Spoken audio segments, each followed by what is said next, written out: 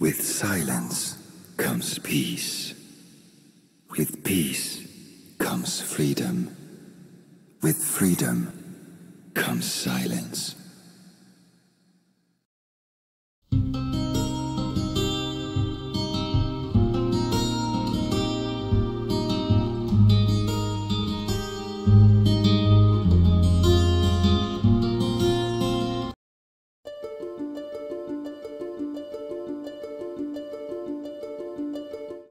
Past few weeks, liberals slash leftists have basically gone berserk over the situation at the border.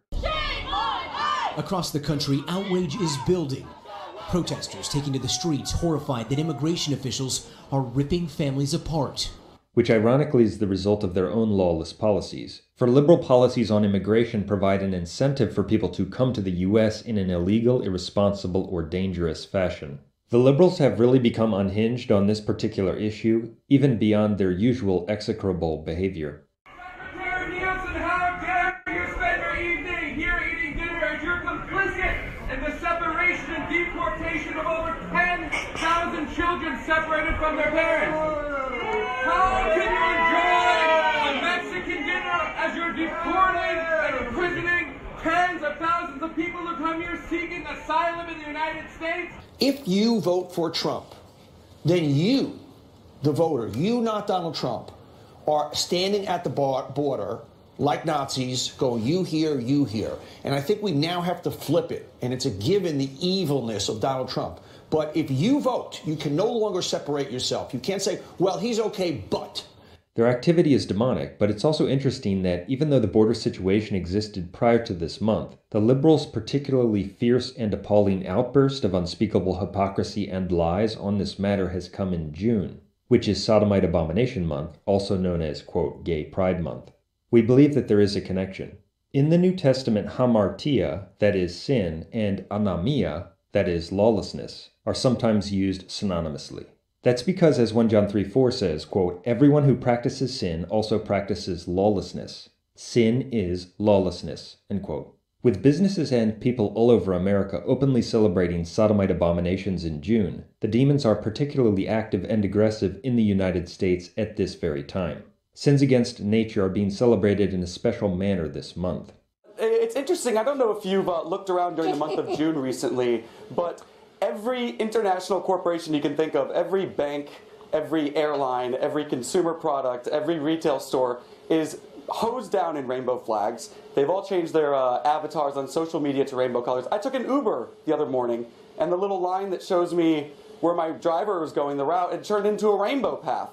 They are they are the, the status quo. The LGBT rights movement is the establishment. It is the man. It makes sense, therefore, that at the very time when spiritual lawlessness is being most notoriously celebrated in the US, a major controversy about law and order has erupted in the country, with the very same liberals who defend or champion notorious sins against nature going basically nuts in defense of lawlessness at the US border. NBC reports that 15 Democratic congressional candidates are calling for the defunding or dismantling of immigration customs enforcement. Back to my point, we don't want any borders, right? That's no borders at all. We don't believe it's just a coincidence. The liberals who love or celebrate abominable and unnatural sins are essentially denouncing as evil anyone in the US who advocates for a reasonable and necessary application of basic immigration laws, which protect innocent people and ensure law and order. If you're an illegal immigrant, no matter how many times you've been deported, there may be no safer place than Portland, Oregon. The city, plus Multnomah County, and even the state legislature, all run by Democrats, have passed laws declaring themselves a sanctuary for people in the country illegally. 31-year-old Sergio Martinez is now being held without bail on charges of robbery, kidnapping, and sexual abuse. One of his alleged victims is a 65-year-old woman who was brutally attacked at knife point in her home. The other woman was attacked in a parking garage at her apartment. Martinez reportedly told Portland police he was high on meth at the time and uses drugs every day. Immigration and Customs Enforcement says he has been removed from the U.S. 13 times since 2008. He has a lengthy criminal record in three states, including battery, felony burglary, and felony illegal re-entry after removal. In December, Martinez was in Multnomah County Jail, and ICE asked the Sheriff's Department to let them know before he was released. They ignored that request, as they do for all immigration detainers. The chairman of the Oregon Republican Party was on Fox and Friends this morning. He was given preferential treatment. Essentially, in Oregon, our governor and the mayor of Portland, Ted Wheeler, have created a protected class for illegal aliens that commit serious uh, as for Sergio Martinez, get this. Taxpayers may actually pay for his defense. The Portland City Council earlier this year awarded $50,000 to launch a project aimed at helping immigrants fight deportation and other legal issues. John? Unbelievable. That's the word for it. Of course, we are not against immigrants or people from other nations just because they are from other nations. But without reasonable border laws, a country descends into chaos. Last year, ICE deported 796 members of MS 13. Mm. And if you remember, MS 13 is the gang that hacks kids to death. We believe that the liberals' aggressive defense of lawlessness is connected to their aggressive support for sin. Make no mistake about it, the liberals and the left wing media who essentially want no border enforcement are hypocrites of the worst kind. They don't really care about children. Indeed, they support murdering children in the womb through abortion. They also push their liberal agenda with lies. So, folks, here is the cover seen around the world now debunked. The father of the little girl that was featured on this week's Time magazine cover telling the Daily Mail that she was never separated from her mother. It's a very different narrative implied by the picture featured on the cover, or what the editors wanted you to perceive. Uh, Howie, this this is propaganda, pure and simple. It's it's not factual based journalism. The the the narrative that is meant by this cover is this is a little girl who's one of the separated from the parents, and she, it's just not so. But there's so many false narratives. It goes right back to where this this thing all started about a month ago. Uh, when we had information, photos put out by Democratic operatives uh, showing detention centers. Here's one of them. But of course, this took place during the Obama era, not during the Trump. The implication was this is what happens with the Trump uh, no tolerance policy, and, and in fact, it was something from the Obama era. They don't really care about the countless crimes committed by many of the people who enter the country in an unlawful fashion. At least, they don't care enough to support effective measures that would stop those crimes or cut down on the number of them. In fact, the statistics on the number of crimes committed by illegal aliens are staggering. In any case, we now for the first time have the actual numbers, and here they are. According to statistics from the U.S. Sentencing Commission, non citizens are actually far more likely to commit serious crimes than Americans are. Non citizens account for 22%, more than a fifth, of all federal murder convictions. 18% of fraud convictions, 33% of money laundering convictions, 29% of drug trafficking convictions, and 72% of convictions for drug possession. Meanwhile, the non citizen percentage of the American population about 7%. So that is a massively disproportionate amount of crime, not even close. No, immigrants are not more law abiding and less dangerous than Americans. That's totally untrue. Indeed, it's the opposite of the truth. Non citizens are more likely to be arrested, convicted, and imprisoned for serious crimes than people who were born here. Much more likely. So, why didn't we know this until now? Why have so many people been lying to us about this for so long? The liberals almost certainly would not allow illegal aliens into their own locked and walled homes. No, they are lawless people who hate God and the U.S.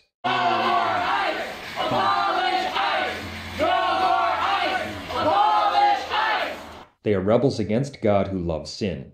Since they are spiritually lawless rebels steeped in sin and under Satan's power, they hate and condemn even the most basic and reasonable laws that are meant to restrain evil, ensure domestic order and stability, and stop crime. They are abominations. Treasure Coast man is behind bars accused of threatening to kill Congressman Brian Mast's children in response to the current immigration policy. Mast has three young children well, Jay Lawrence Key is his name. He's now facing federal charges. He's accused of calling Mast's D.C. office and speaking to an intern there and allegedly telling that intern that he would kill Mast's children in response to children being removed from their families at the border. Stuart resident Lawrence Key was arrested Monday shortly after the FBI was notified about the possible threat. According to court records obtained by our news partners at TC Palm, Key told an intern who answered his call, quote, I'm going to find the congressman's kids and kill them. If you're going to separate kids at the border, I'm going to kill his kids. Don't try to find me because you won't. We spoke to a friend of Key's who says he volunteers regularly for the Democratic Party of Martin County to sign people up to vote and has volunteered many hours for Planned Parenthood. Those documents also show that Key has called Mast's office more than 470 times. Investigators also say he called the offices of Senators Bill Nelson and Marco Rubio on Monday. Furthermore, people need to understand that what we're seeing from the left right now and since Trump took office are the effects of a public exorcism. That's right, we are seeing the effects of a public exorcism. Well, the embrace of violence on the left didn't start yesterday. It's been clearly visible ever since Trump started running for president close to two years ago. His campaign rallies, his inauguration, almost every police policy action, rather, he's made as president have all been treated as a chance to begin a violent act.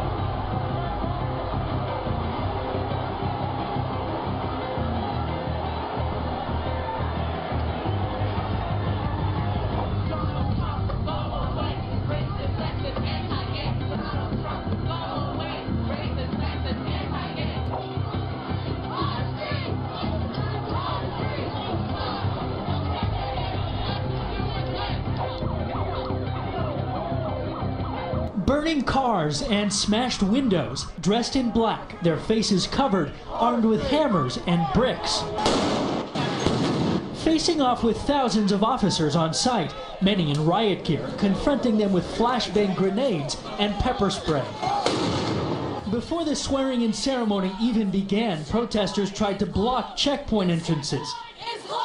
During President Trump's speech, several demonstrators were escorted out of the area. Several officers injured during the protest today, and more than 100 people arrested. When Donald Trump took the oath of office, the people here sang, We shall overcome. Resist from day one! Similar demonstrations across the country. Arrest outside Trump Tower, New York City. A human chain across San Francisco's Golden Gate Bridge. From Phoenix to Houston to Chicago, people protesting the country's new president on his first day in office. Barack Obama was and is one of the most wicked and despicable human beings to have ever lived. Perhaps thousands of devils were in him and accompanied him wherever he was. Obama's fraudulent administration was characterized by outrageous lies, the promotion of sodomy, abortion, and all kinds of evil, both here and abroad. It was a reign of evil. Here's a guarantee that I've made. If you have insurance that you like, then you will be able to keep that insurance. If you've got a doctor that you like, you will be able to keep your doctor. If you like your doctor, you can keep your doctor. If you like your health care plan, you can keep your health care plan.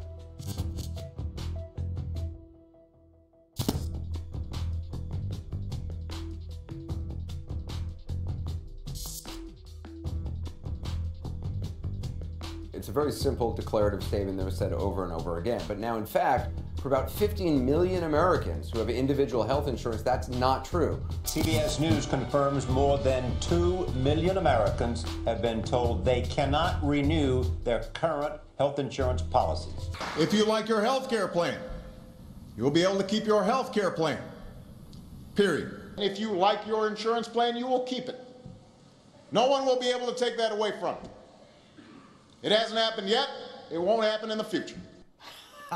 Drum roll, please. The lie of the year for 2013 goes to none other than President Barack Obama. I just want to say thank you for everything you do on behalf of America's women.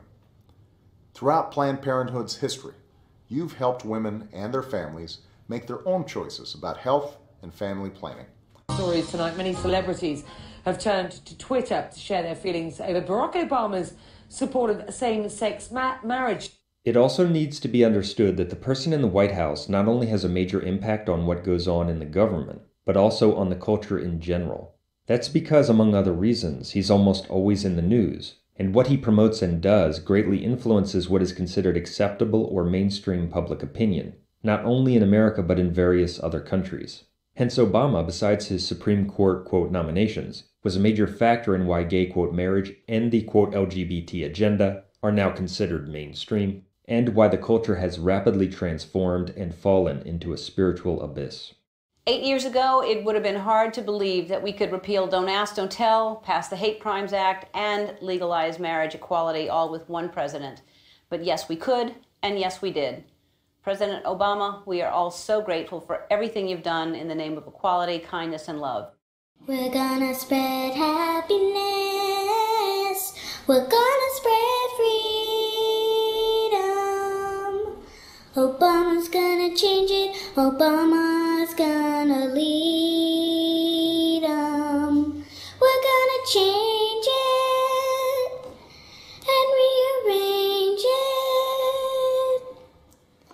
We're gonna change the world.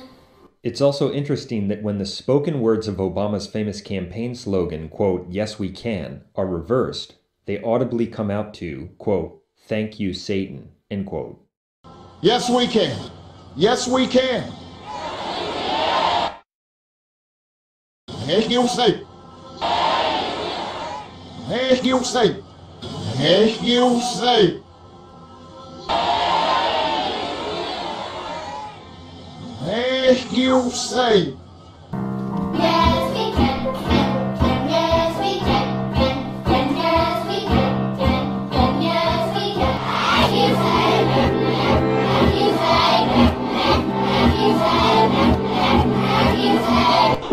Passages of Scripture should guide our public policy? Should we go with uh, Leviticus?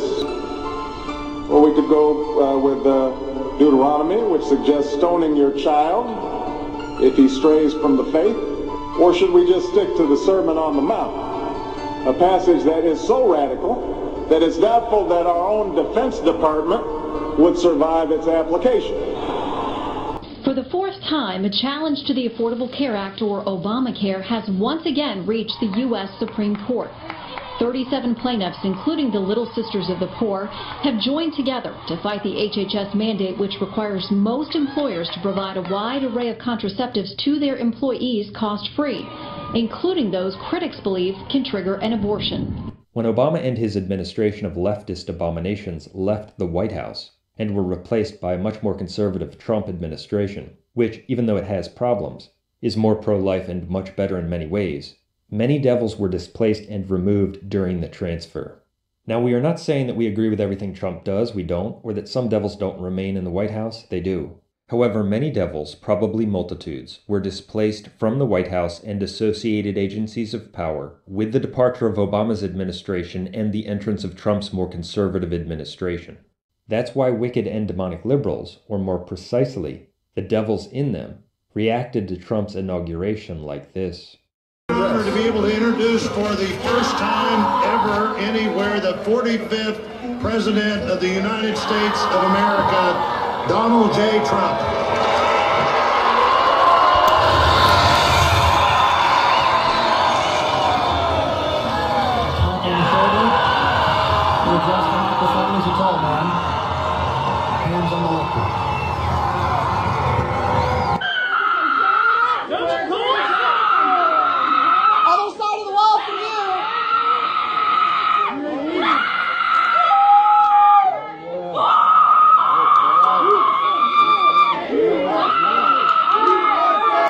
View, that was a real example of an outburst from a devil who is furious that many devils have been displaced from the White House and associated agencies with Obama's departure.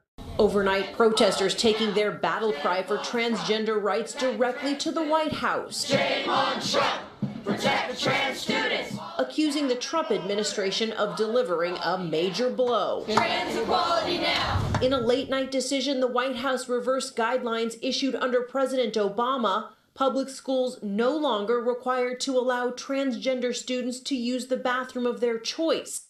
This is also why many abominable celebrities and various pro athletes who loved Obama passionately hate Trump. You bum at Stephen Curry 30 already said he ain't going, therefore ain't no invite. Going to White House was a great honor until you showed up. The devils in them are upset that many devils from the Obama administration are no longer in the White House and in associated agencies. In fact, on the one year anniversary of Trump's election, various liberals gathered together to do this.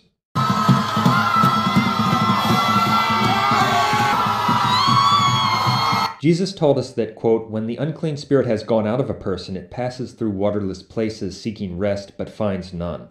Then it says, I will return to my house from which I came. And when it comes, it finds the house empty, swept, and put in order. Then it goes and brings with it seven other spirits more evil than itself, and they enter and dwell there. And the last state of that person is worse than the first. The many devils who left the White House and associated government agencies with the departure of Obama and his cronies desperately want back in. His motives and his actions are contemptible, and I will fight every day until he is impeached. Impeach 45. Impeach 45. Impeach 45. Impeach Donald Trump. Impeach Donald Trump. Impeach Donald Trump. That was the message in downtown Los Angeles Sunday by thousands of protesters who want Congress to remove the Republican president from office. This perfectly explains why the left has lost its collective mind in regard to Trump and in reaction to almost everything he does. The vitriol being unleashed against Sarah Huckabee Sanders is stunning and sad. The White House press secretary and her family were kicked out of a Virginia restaurant called the Red Hen yesterday for moral reasons because she works for President Trump. Yes, I have thought an awful lot about blowing up the White House. When was the last time an actor assassinated a president? Robert De Niro fantasizing about punching the president in the face and telling him to F off every other day. It's an actor dressed to look just like President Donald Trump as he's assassinated on stage. Look as his character is stabbed to death. And there's no mistaking the Trump connection. Check out the unbuttoned overcoat and red tie that hangs over his waist. Face, no sleep. And if you see anybody from that cabinet in a restaurant, in a department store, at a gasoline station, you get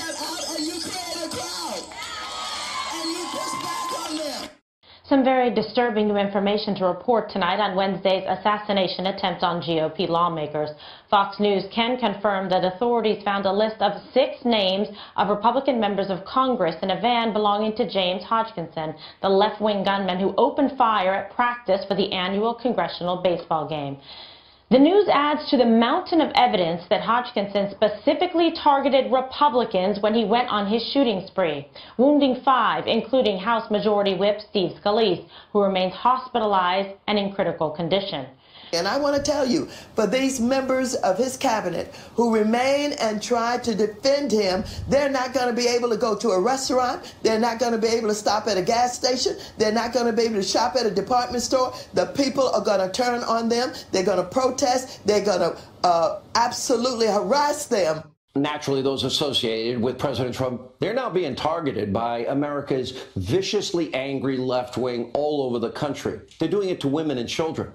Now, listen to what happened to Florida Attorney General. She'll join us in just a few minutes, Pam Bondi, this weekend as she goes to see the Mr. Rogers movie. Take a look. Three huge guys came up and started probably an inch from my face, screaming at me every word in the book, cursing as loud as they could.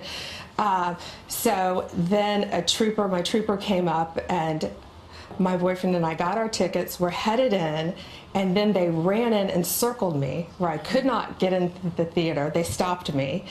Um, so he came up then and stopped them. So then we went in the theater, thought it was diffused. We're up getting popcorn at the concession stand, and they came up again, just every curse word in the book. Those liberals who rail against Trump support abortion, homosexuality, lies, socialism, etc. They have devils in them. The devils in them were comfortable with the abomination Barack Obama, but now they are gnashing their teeth. They want back in. Hence, they have become more and more unhinged, saying in essence, I will return to my house from which I came. Anywhere the 45th President of the United States of America, Donald J. Trump,